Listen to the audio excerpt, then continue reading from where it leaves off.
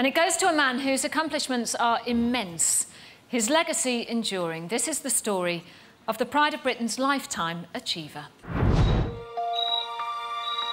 We'll never forget what you've done for our family. You've given me another chance to live. Because of you, every day seems like a gift. You gave us something so precious, our son's life back. Sir Magdi Yacoub has performed more heart transplants than anyone else in the world, and his work has saved tens of thousands of lives across the globe. Egyptian born, he came to the UK in 1962 and started work at Harefield Hospital, which under his leadership became the world's foremost heart transplant centre. Well, I think there's nobody who works as hard as, as Magdi Yacoub. I, I have not seen that, certainly not in our field. When it comes to heart transplants, Sir Magdi holds all the records. The UK's first, the longest surviving and the youngest ever and he's been responsible for pioneering groundbreaking techniques in this vital field of medicine. It's no wonder he's known as the King of Hearts.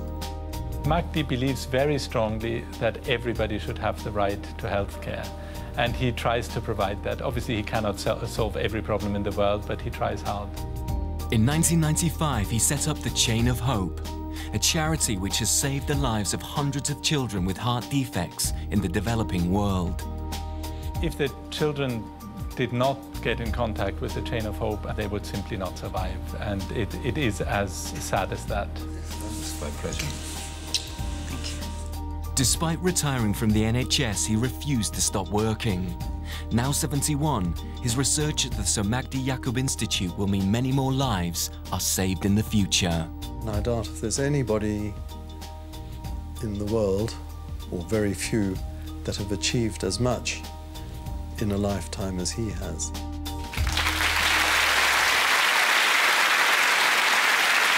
Ladies and gentlemen, before we meet Sir Magdi, please welcome a man who knows all about affairs of the heart, Mr Paul O'Grady.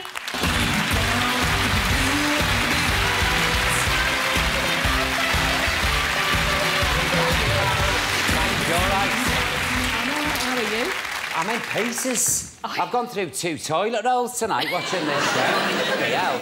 I haven't cried so much since Laura Ingalls went blind in Little House of the Prairie. um, as you know, I've had two heart attacks. I died the first time in the ambulance, and thanks to the paramedics, I was revived, and thanks to the skill of my cardiologist and the staff of St Thomas's Hospital in London and the staff of uh, the William Harvey in Ashford, I'm here today to tell the tale. Um, no, really. No, no. and this man is, is what, he's, what he's done and what he's achieved and the lives he's saved. I'm really humbled to be able to present him with this award. Well, shall we meet him? Yes, please. Let's bring him up, please. Sir Magdi Yacoub, ladies and gentlemen.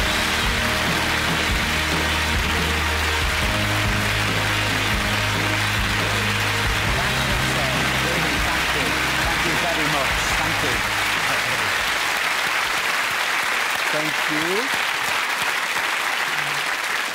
Thank you very much indeed. There is nothing, I mean nothing, more enjoyable or pleasing than seeing a very, very sick person get better or come to life. I really don't deserve this, but I'm happy to have it.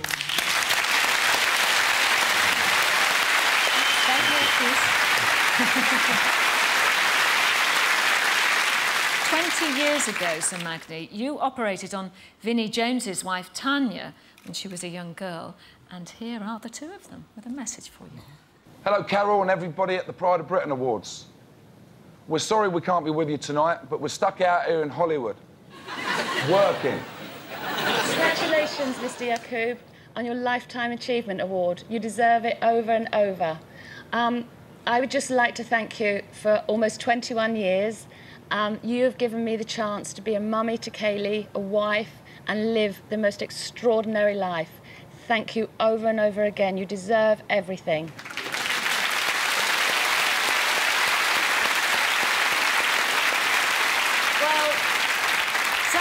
Is just one of an incredible 20,000 people Sir Magdi Yacoub has operated on. Now, we couldn't get all of them here on the stage tonight, but we have rounded up as many as we possibly could. So please welcome a few people who'd love to say a deep thank you to you. Here they are.